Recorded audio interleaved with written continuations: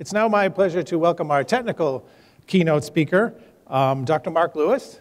Uh, Mark is one of my colleagues at IDA. Uh, he is the director of the Science and Technology Policy Institute, uh, which is one of the three federally funded research and development centers operated by IDA. Uh, you're probably most familiar with our systems and analysis group that I come from and most of the people here come from. Uh, we also operate a, another set for uh, the National Security Agency, and then Mark's is the third and that's a very interesting uh, institute because it deals with the, the scientific nexus that cuts across the whole federal government and national scientific community, dealing with not, with not only DoD issues, and, but also NASA is a major sponsor for Mark's group and the whole scientific community. Uh, Mark came into that position uh, a couple of years ago with an excellent background as 24 years on the faculty at the University of Maryland and uh, the, the uh, Willis Young Jr. professor and uh, the chair of the Department of Aerospace Engineering there. Uh, and then in 2000, between 2004 and 2008, he was the chief scientist of the Air Force. So he approached those issues from the government perspective as well. So we're very much looking forward to hearing Mark's uh, remarks this morning, and we thank you for joining us, and please welcome Mark Lewis. Hey, good morning. Well, good morning. Um, so let me start out with a quick show of hands. How many aerospace engineers in the audience? Great. Okay, pilots. I see a bunch of my Air Force colleagues in the room. So I'm going to be talking to you today about a particular technical area, and actually the area that I've spent most of my, my uh, career working in, and that is the arena of hypersonic flight. That is flight in excess of about five times the speed of sound. Now, to those of you who uh, pay attention to news feeds and, and track S&T trends, especially in the Department of Defense. You probably know hypersonics is the hottest topic right now. Um, and, and that's kind of rewarding to those of us who work in the field. And I'll talk to you a little bit about why I think that is and, and why that's important. But what I want to zero in on my remarks today is really focus on some of the challenges that we face. And I think perhaps appropriate to this audience, some of the, the analytical and testing issues that are relevant to the field. So, since we're not all aerospace engineers, let me start off with a little, little, little background about high-speed flight. Uh, you probably know that the Wright brothers invented the airplane. They flew their first airplane at a speed of about 20 miles per hour. It went less than 110 feet, which is actually smaller than the wingspan of the average commercial jetliner today. But that ushered in the, uh, the, uh, the, the uh, aerospace era. Um, by 1947, Chuck, Chuck Yeager, flying in an aircraft called the Bell X-1, had broken the sound barrier which turned out actually not to be a barrier at all. But he broke the sound barrier, flew past the speed of sound, um, and ushered in the age of supersonic flight. Um, today, we have aircraft, and actually since, since uh, the late 1940s, throughout the 1950s and 60s, we've had aircraft that regularly fly at speeds in excess of the speed of sound in the realm of supersonics.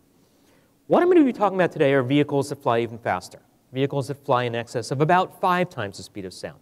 Now, to the purists, there actually is no strict definition of the term hypersonic. Hypersonic generally means about five times the speed of sound or greater. Uh, if you got 10 hypersonics experts in the room, you'd get 11 definitions of what hypersonics means. But we all kind of agree that a few things happen when you go really, really fast. And those things that happen make analysis complicated, they make testing complicated, both on the ground and in the air. All right, so we have been flying at hypersonic speeds for actually quite some time. It's not a new field. You know, I mentioned Chuck Yeager broke the sound barrier. That was not hypersonic, that was sonic. But by 1948, a year after Chuck Yeager flew, we were flying sounding rockets, unmanned systems, but sounding rockets, uh, above six times the speed of sound. In fact, the picture in the far left that you can see is a gentleman by the name of Frank Malina. Uh, Frank was uh, one of the founders of the Jet Propulsion Laboratory. He's shown there standing next to a, a rocket that was called the WAC Corporal. It was a sounding rocket. After the war, the U.S. had captured a number of German V 2 rockets. They started experimenting with them out in, in, the, in the, White Sands Missile Range. At one point, they put uh, a, a, sounding rocket as an upper stage on a V 2 rocket, fired the combination off. It took them about four or five tries, but they finally got it to work, and they exceeded about six times the speed of sound. Frank Malina, by the way, had an interesting uh, uh, follow on to this. He, he became as one of the founders of the Jet Propulsion Laboratory and at some point had an epiphany, gave up in, on engineering entirely, cashed out, moved to Paris, and became an abstract artist. So uh, I have friends who have seen his art. They say it was actually pretty bad. But, but, Um, throughout the 1960s, we actually had vehicles flying at uh, hypersonic speeds, and in particular, there was a vehicle program called the X-15 rocket plane. You know, any of you who've gone to the Air and Space Museum, when you walk into the main gallery, the opening gallery, you look up to your left-hand side as you come in from the mall, and you see this beautiful, sleek, uh, charcoal gray aircraft hanging from the ceiling. And that was one of the three X-15 vehicles that were built. And to this day, those of us in the field point to that program as the pinnacle of testing. Right? Three vehicles were built. Um, throughout the 1960s, they flew a total of 199 times. So every two weeks, roughly, an X-15 rocket plane took off. Uh, they flew out of Edwards Air Force Base. They were dropped off the wing of a large bomber, the B-52 bomber. The flight, the flight technique was you drop it off the wing, fire off a rocket engine, and accelerate to, uh, to various speeds. Um, the fastest manned powered flight in the atmosphere, the record is actually uh, held by the X 15 vehicle. It flew at Mach 6.7 in 1967. The pilot was a gentleman by the name of Pete Knight. His son, Steve Knight, is currently the congressman who represents the district in California that includes Ed Edwards Air Force Base. Not surprisingly, he's become one of the congressmen who's particularly interested in funding hypersonic flight. So always, always who, know who your constituency is. Um, lower side of the chart shows you a number of other hypersonic vehicles. Every spacecraft that enters into the atmosphere from space is traveling at hypersonic speeds. A spacecraft entering from low Earth orbit is traveling at about 25 times the speed of sound when it begins to enter the atmosphere. That's Mach 25, clearly hypersonic. Um, the Apollo spacecraft coming in from the moon were traveling even faster. Right? On a trajectory from the moon, spacecraft entered the atmosphere at about 36 times the speed of sound, Mach 36. And in fact, uh, Apollo 10 holds the record for the fastest human flight recorded, highest Mach number flight. Um, one of the Apollo 10 astronauts, uh, General Tom Stafford, is still alive and well. We just celebrated his 87th birthday. And uh, loves to talk about that, that, that reentry and what an experience that was. So we've been doing this for a while. What's new? What's new is the stuff on the upper right-hand side. And that is the pursuit of hypersonic systems that, instead of slowing down as they come back from space, or instead of being boosted on a rocket on a ballistic trajectory, can actually travel for significant periods of time in the atmosphere.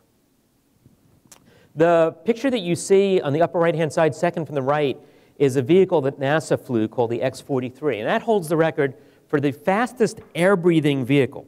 That is a vehicle that uses oxygen in the atmosphere as part of its combustion system. Fastest air-breathing vehicle that we've flown to date. That hit almost 10 times the speed of sound in 2004 and flew very much like the X-15 rocket plane, dropped off the wing of a B-52 bomber and then accelerating on rocket power.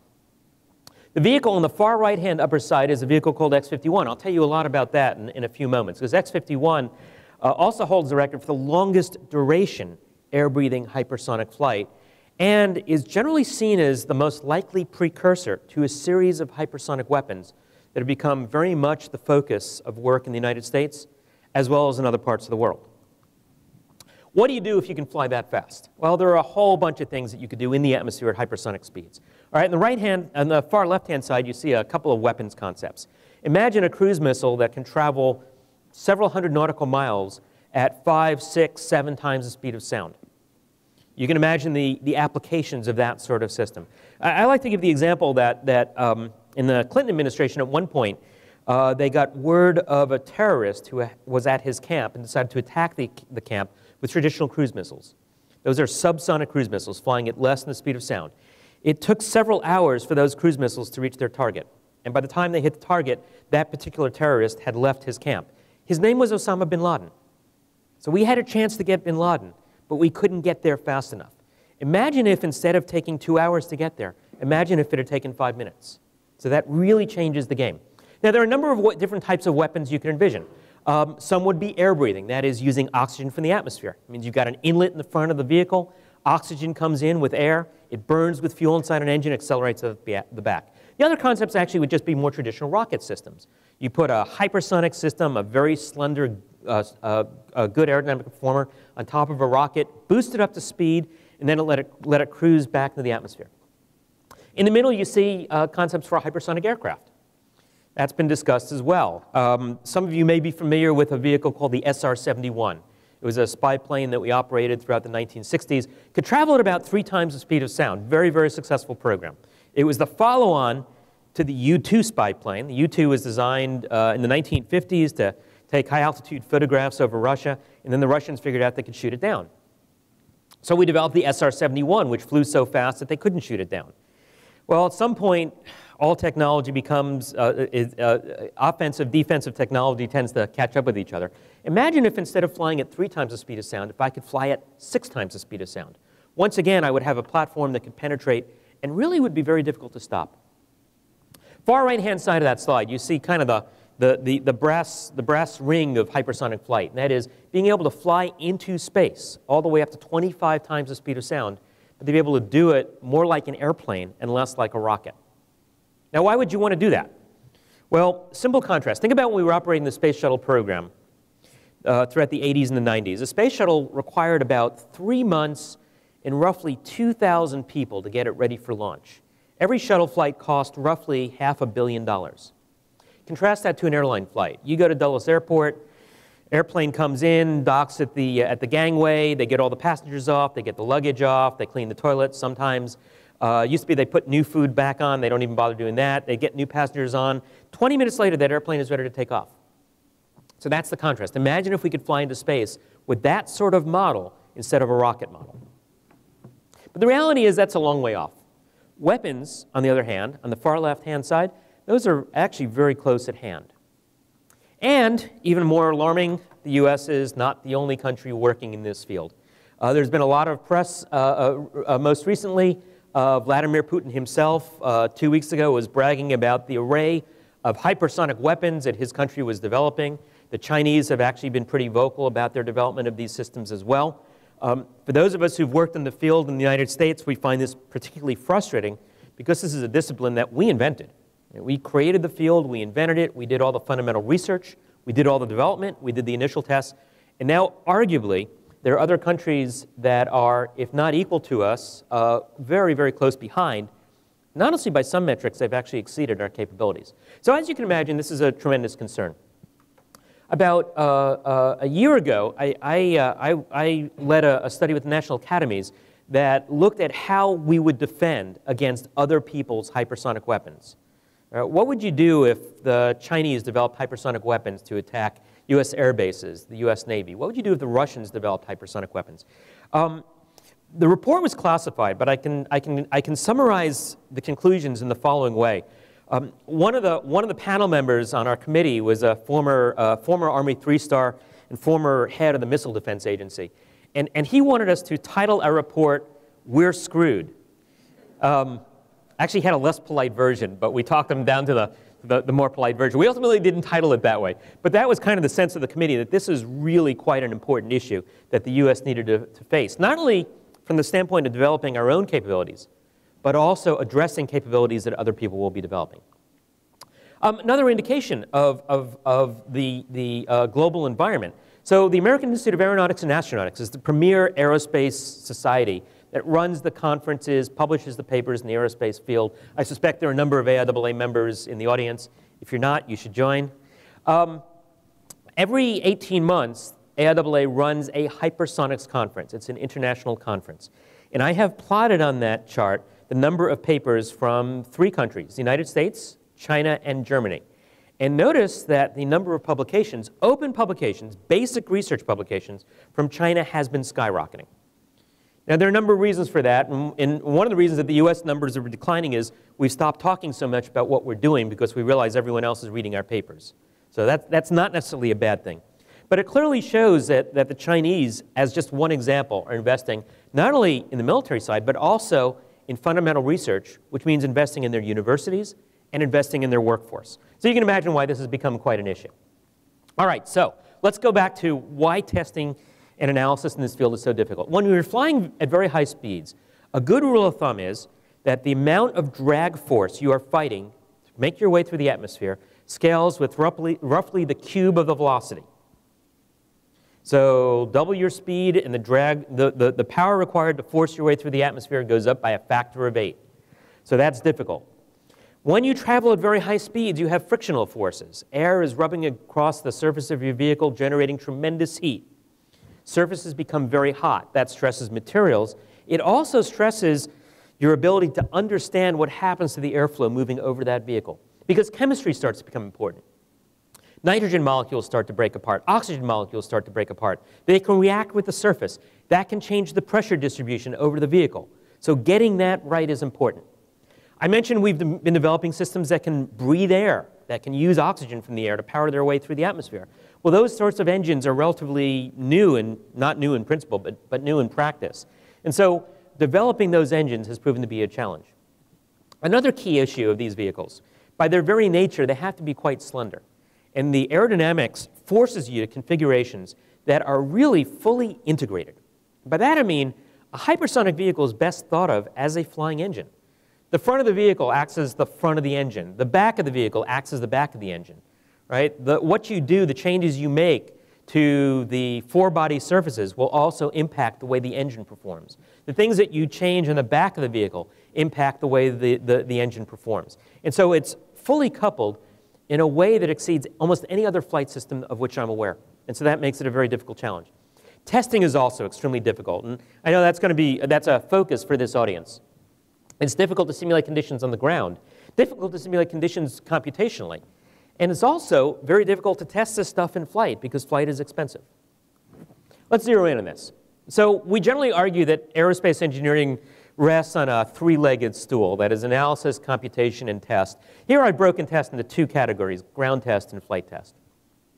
There are parts of the community that like to argue that ground test is becoming obsolete, wind tunnels are going out of style, we can do everything with computers, we don't need it anymore. Uh, if, if you walk away from this discussion with, with any other thought, it's that's completely wrong. Ground test is still extraordinarily important.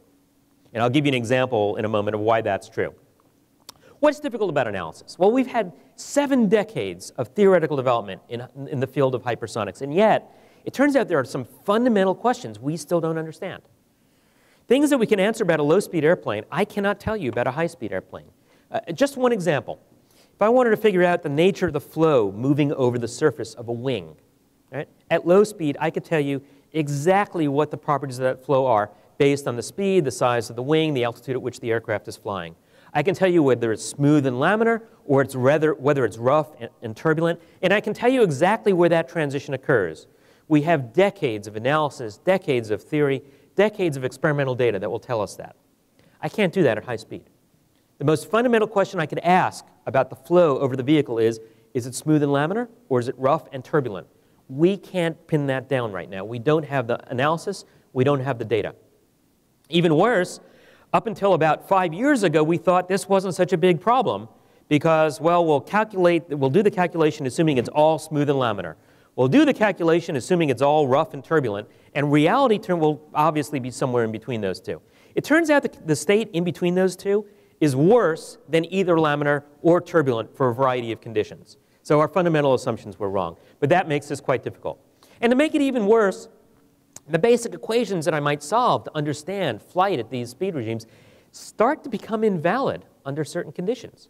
When I model the behavior of flow moving over an aircraft, I'm doing it assuming that the air acts as a continuum, which means I can ignore the behavior of individual molecules. I treat it as a statistical whole. At very, very high speeds, temperatures become high. Remember, friction drives up temperatures, surfaces become hot, gas becomes hot. Densities become low molecules start to become separated at large distances, which means our basic assumptions of fluid behavior begin to break down. So that's quite a challenge. Yeah, I know every practitioner of a field wants to tell you that their field is really difficult, but in this case, it's true.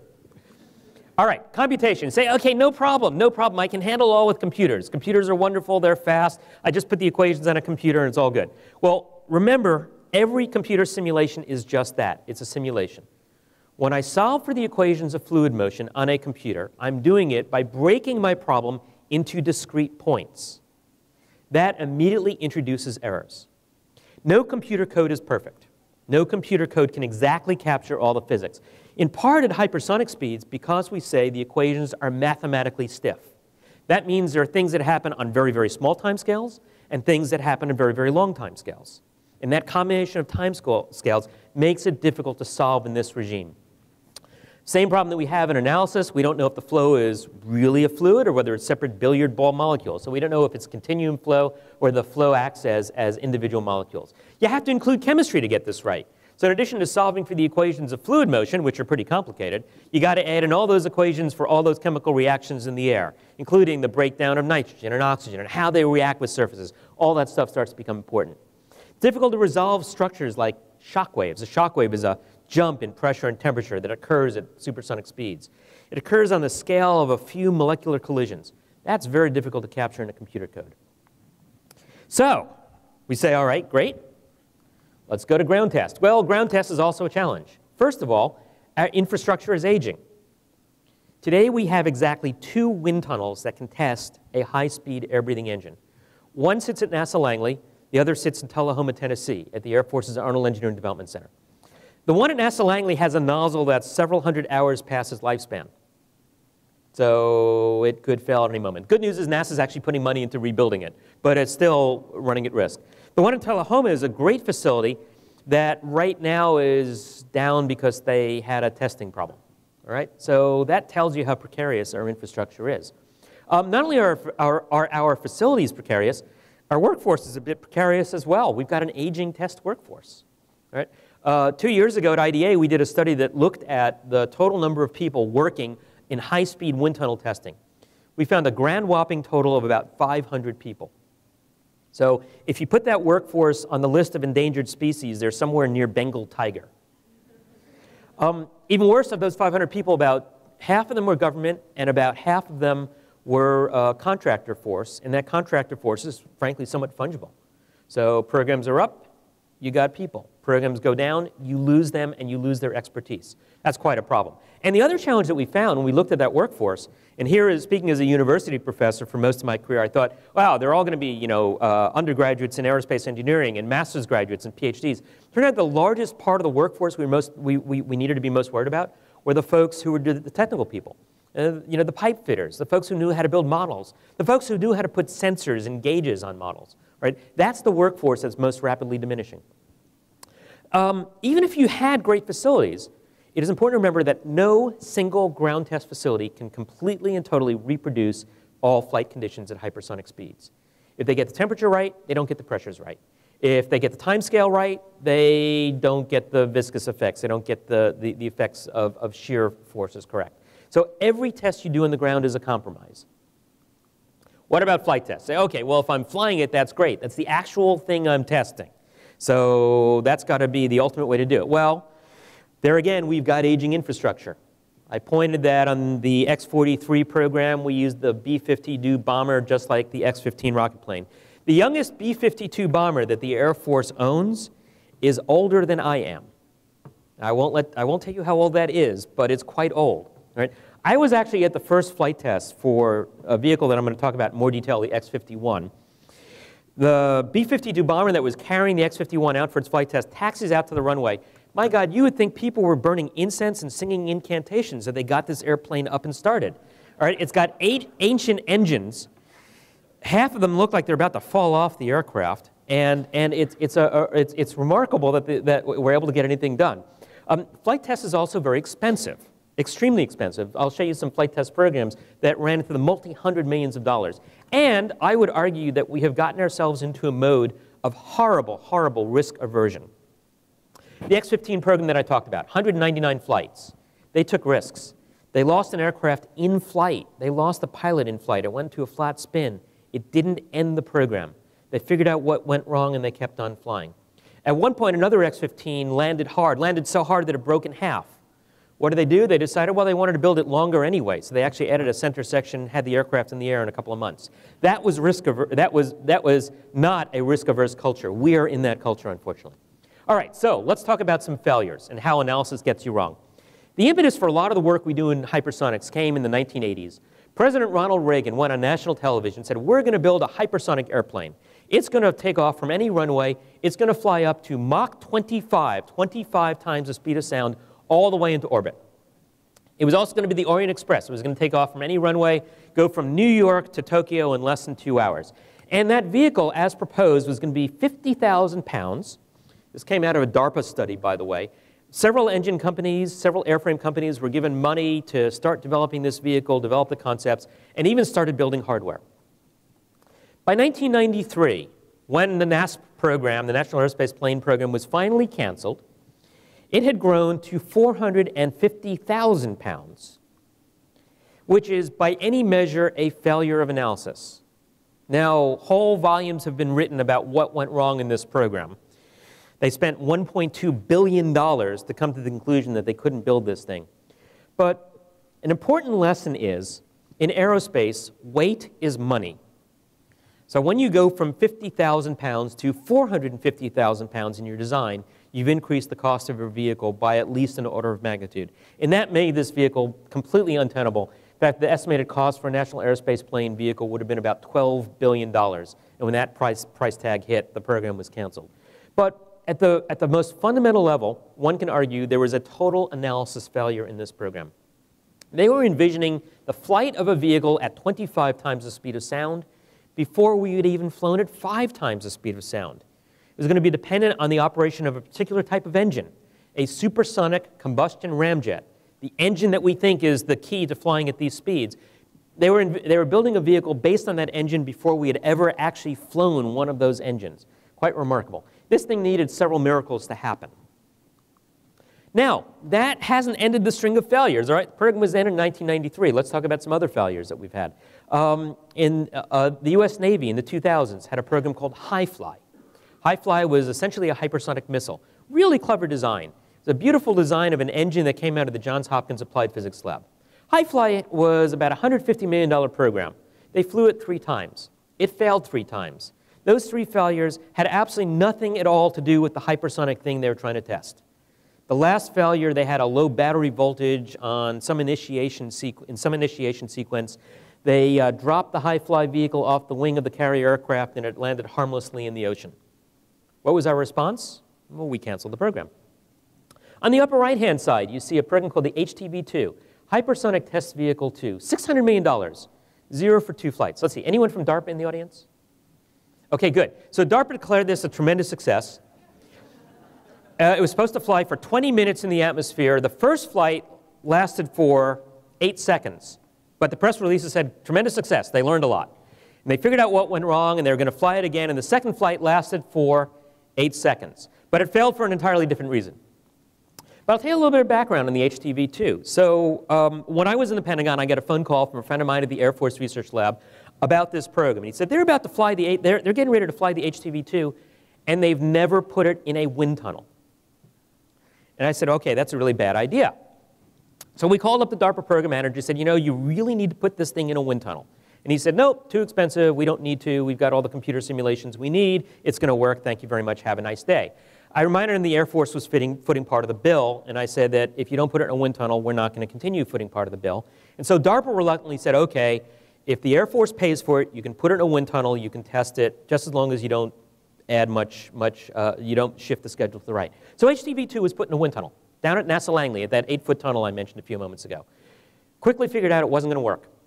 There was a problem in the design. Uh, the boundary layer was supposed to have been laminar. It turned out it was going to be turbulent. That changed the effectiveness of the control surfaces. So the team quickly did a redesign. They tested it. They brought it up to the Air Force's Arnold Engineering Development Center. It was tested some more. It was on the ragged edge. They weren't sure if it would work. So DARPA was told, hey, you need to put this thing in a wind tunnel. Test it a little bit more. DARPA's response was, no, we've tested it enough. We did exactly what we said we were going to do. You got the data. Let's go to flight. They went to flight. Failed exactly as was predicted by the folks who did the initial tests in the wind tunnel. Now, here's where there's kind of a good news story. So the fellow who had called me up from the Air Force Research Lab, who told me that DARPA wasn't going to put this thing in a wind tunnel, by the time this thing actually went to flight, he had moved to DARPA and was the DARPA program manager running this thing. So he had inherited this. And so as soon as that first flight failed, he called up his friends at the Arnold Engineering Development Center and said those magic words that every wind tunnel operator dreams of hearing. How much time can I have? Money is no object. and they tested the heck out of this vehicle. Too late to change it. That led to the second failure, but a lot of data, data was acquired. All right, so we haven't had only failures, though. We've had some significant successes, and I want to talk very briefly about these, and then I'll move on to my favorite. Left-hand side is arguably the first flight of an air-breathing hypersonic engine. It was a program called HyShot. This is not a United States program. This was done by a university team in Australia. They did this for about a million dollars out in the Australian outback. Failure was an option with them. Their first flight, they lost the fin. They were ready to fly two days later. Um, in contrast, the vehicle in the center is that NASA X-43 vehicle that I mentioned. Still holds the speed record for fastest jet-powered flight in the atmosphere. They flew in about the same time frame. Interestingly enough, they had a fin failure in their first flight, just like HyShot, only they spent a year figuring out why their fin failed. Um, the X-43 was, by any metric, a much more extensive vehicle than the HyShot vehicle. It was a fully integrated vehicle, aircraft. It had an engine integrated with the rest of the airframe. It produced thrust greater than drag. But X-43 was about a $300 million program. HyShot was a million dollar program. So it points out that you can do some really good things if you've got smart people thinking problems through. And also, universities work cheap. That's another, another message in there. All right, so I promised to talk about my favorite vehicle, which is X-51, in part because I got to name it, and it was an homage to the X-15. X-51 was the Air Force's program to once and for all develop a weapons-class hypersonic flight test bed. About the size of a missile, 14-foot vehicle. It is not a missile. It doesn't have a warhead, doesn't have a missile guidance system. But the idea was to, to, to work out, to experiment flying at high, high speeds in the atmosphere for extended periods of time. Program operated between May 2010 and May 2013. There were four flights. Two were successes. The first flight flew for 143 seconds. That was 14 times longer than the NASA X-43. You might say, wow, 143 seconds, that doesn't sound like a lot. Well, a molecule of air spans about one one thousandth of a second inside the engine of X51. So 143 seconds is 143,000 flow path intervals through the engine. So in the hypersonic realm, that's almost infinity. So we were delighted to get that much time. Flight two, we had a failure at ignition. Uh, vehicle never really, the engine never really fired off. Learned a lot in that DARPA tradition. It was a great flight. We learned a lot, even though it failed. Flight number three, that was just an embarrassment. Fin fell off the vehicle, got no useful data. You'd think we would know how to build fins. We didn't. And then we got to flight four. And flight four I call kind of the Lindbergh moment. 210 seconds of powered flight. The engine operated as long as it needed to operate. It basically, it stopped powering the vehicle because it ran out of fuel, which is exactly what you would have expected. Most exciting thing that came out of flight four is the fact that there was no excitement. The vehicle performed exactly as analysis and wind tunnel experiments had predicted it would. So that's a success story. Let me point to the big failure in this program. Remember how many flights the X-15 program had? 199. We had four. At one point, the program dropped their funding down to two flights. I was still in the Pentagon at the time, and I actually threatened to cancel the program myself. I said two floats, flights won't get you anything useful. We were predicting about a 50% success rate, which, which was completely accidentally correct, by the way, 50% success rate. But look at what happened. So we do flight one. Flight one is almost perfectly successful. Except at the very end of the flight, there was a burn through in the nozzle. A seal that connected the nozzle of the engine had a leak, and hot gases were leaking out. Not a big deal. Within the first 10 minutes of analyzing data, we knew exactly what went wrong. Look how much time we spent between flight one and flight two. You needed an accident review board, failure analysis. We needed to figure out what went wrong. After almost a year, we concluded that the thing that we thought went wrong on the very first day was exactly what had gone wrong. So why do we spend so much time doing that? Well, after flight one, you only had three flights left. So by gosh, you better get those three flights right. Then we go to flight two. Flight two has this engine failure, ignition failure. Wow, that was a real hardware failure and required a redesign. So look how much time that took, right? That was another year, another investigation board, another gnashing of teeth, even though within the first month people knew what went wrong. Now we got to flight three. Flight three was a dumb mistake. Fin fell off, all right? Tell you what happened after flight three. We had a lab commander who wasn't sure he was even going to allow flight four. Flight 4, the vehicle had been built, it was sitting in the shed, it was ready to go, and you had lab leadership saying, what if we fail? That would look really bad. Let's just put it in a museum. Talk about risk aversion. Calmer heads did, did, prevail. But you see what happens when you get into a program of this type and you have too little, little, too little, too few tests involved. Um, I'll tell you a little bit about cost. So the total cost of the X-51 program came in at about $300 million. Each additional flight would have cost about $10 million. So think about that for a moment.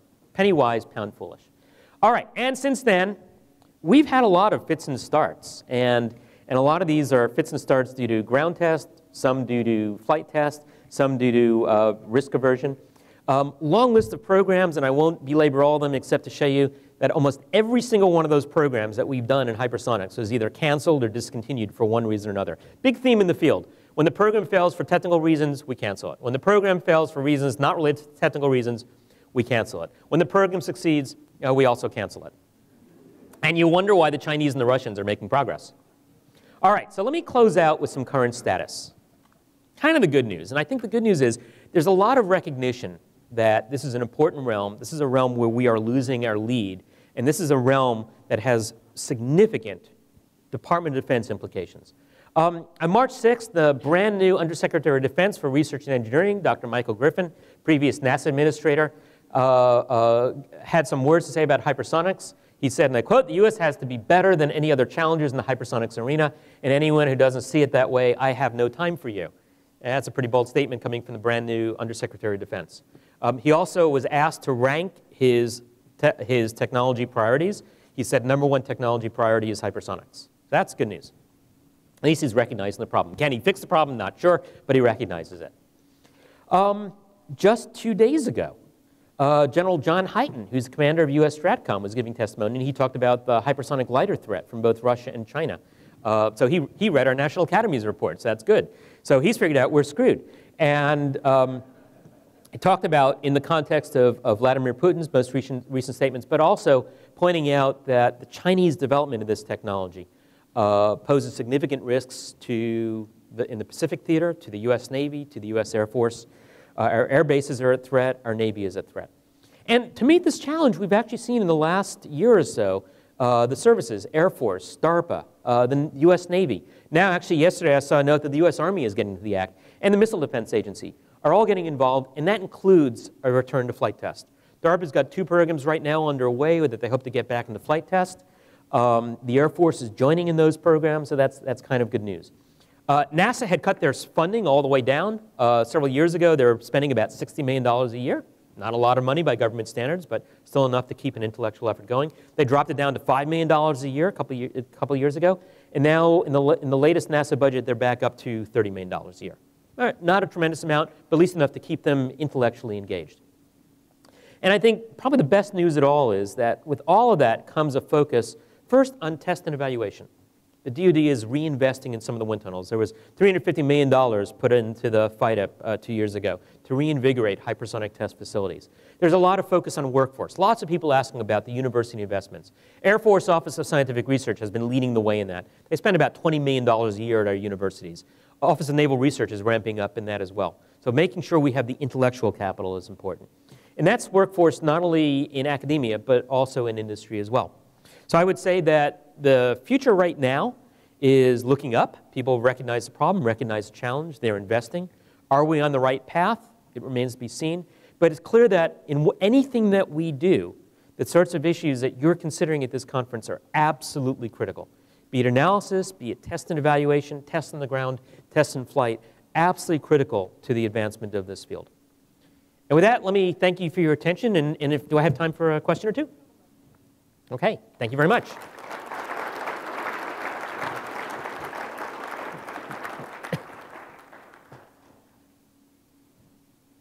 Question in the back. In today's environment, how do we keep international cooperation up? So international cooperation is a great question. Um, you know, I mentioned, um, I mentioned uh, the Australian work, the HyShot work. So that led to one of the best examples that I know of international cooperation. So the university lead and the HyShot team, absolutely brilliant engineer, a fellow by the name of Allan Paull, got hired by the Australian government, their Defense Science Technology Office, now their Defense Science Technology Group, set up a hypersonic group, and they then signed a cooperative agreement with the U.S. Air Force for a program called HIFiRE. And that's been going on for about 10 years now. They're doing a whole series of tests in the Australian outback. That's brought a lot of goodness into our understanding of hypersonics. First, they've got some really, really smart people who understand the aspects of this field better than we do, including ground test and flight test. Second, it gives us a window into part of the world that we don't normally see. And third, they've got this wonderful test facility in Australia, this, this, test, uh, this, this uh, uh, flight test center called Woomera in the middle of the outback, which is the flattest piece of land you could ever imagine. Uh, great for testing hypersonic stuff and picking it up off the ground. So yeah, international cooperation is, is key. Uh, honestly, I think there are some countries we will have more challenges cooperating with. China and Russia are pretty high on that list. Uh, complicated story with China, complicated story with Russia. But we also have European partners that we work very closely with. And even in, in South America, uh, the Air Force has had a robust relationship with several South American countries in the field. I saw a question over on the left-hand side. Uh, you talk a lot about offensive capabilities. What about defensive capabilities? Oh, phenomenal question. So why do you want to develop the offensive capabilities? Because it's hard to defend against. Yeah. Yeah. Why is there any work going into def- uh, defensive capabilities? In fact, there is. There's a lot going in right now to defensive engagement. So, so I mentioned the Missile Defense Agency has stepped up to the plate. So they actually did not, did not previously have the charter, and now they do, to be the DoD executive agent to address defending against hypersonic systems. Important takeaway, these things are not impossible to stop. They're hard to stop, but not impossible. There are some attributes of a hypersonic system that actually, in some ways, make it easier to see, right? They're going so fast, they're glowing red hot, they're relatively easy to pick up on IR. Um, the challenge is they are moving very fast, so you don't have a lot of decision time to stop a hypersonic system. But there are certainly things that you could do. Directed energy solutions, for example. DARPA has a program looking at gun solutions that could be used to stop these towards the end of, of their flight. Um, so yeah, it's, it's, it's, it's tough, but it's doable and it's being addressed. Is uh, rapid reusability anywhere in the future? Ooh, rapid reusability. Gosh, I'd like to get to that point. but right now I'm, ha- I'm happy with, with rapid expendability. so, so we, we get to the, so in 2010, I, I, I, I got to tell you a quick story. So 2010, I was elected the president of AIAA, the Aerospace Society. And at the time, AIAA decided to go forward with a, with a series of technical challenges for the aerospace community. And one of them was green aircraft, you know, uh, uh, uh, environmentally sound aircraft. So we did a press conference, and this reporter, and I'm unveiling this portfolio, and this reporter says, Well, Dr. Lewis, you're mostly known for your work in hypersonics. Do you think hypersonics has any bearing on, the, on aircraft impact on the environment? And I blurted out, Oh my God, if we ever got to the point where we were flying so many hypersonic vehicles that they're damaging the environment, I would be delighted. And then I asked them not to print those comments. so I'll put that in the same category. I have time for one more question? Um, do you see that there's a potential sort of threat of the culture of risk averse to stopping some of these other programs that are going on? Ooh, so you know, I think there are a lot of attempts to stop the culture of risk aversion. Um, it's, it's being discussed a lot. And, and, and uh, Mike Griffin, who I, I quoted from the new U- uh, Undersecretary of Defense, has been talking a lot about that, getting back to a culture of experimentation. That's, that's probably um, a, a topic for an entire hour long conversation. I, I will tell you that one of, my, one of my big concerns, and I see that addressed, is I saw this in the Pentagon. We have this tendency to want to do things that I call demonstrations. And demonstration, I already know the answer. I just want to prove it to someone. And, and that to me is, is, is usually very flawed for a number of reasons. One of the reasons is if you're, if you're trying to prove it, that means you, you think you already know the answer. So, so why are you doing it in the first place? There are two possible outcomes. You either succeed and everyone says, well, well yawn, you knew you were going to work. Or you don't succeed and you fall flat on your face. And half the time you're doing a demonstration to prove it to someone, you don't even know who that person is. As opposed to experimentation. an Experiment where you don't quite know the answer. You, you, think, you may think you know the answer, but you don't quite know the answer. And so any outcome that you get is a good outcome. Mike's been talking about experimentation, getting back into that culture. And I think part of that culture of experimentation carries with it the sense that you're willing to take risks. If you're doing an experiment, any outcome is a good outcome, uh, assuming you don't just lose a fin. But any, any way the experiment goes gives you useful data. If you're doing a demonstration and you fail, that's always a bad outcome. And so I think that's, that's part of it. With that, I think I've probably run out my clock. Great. Thank you very much.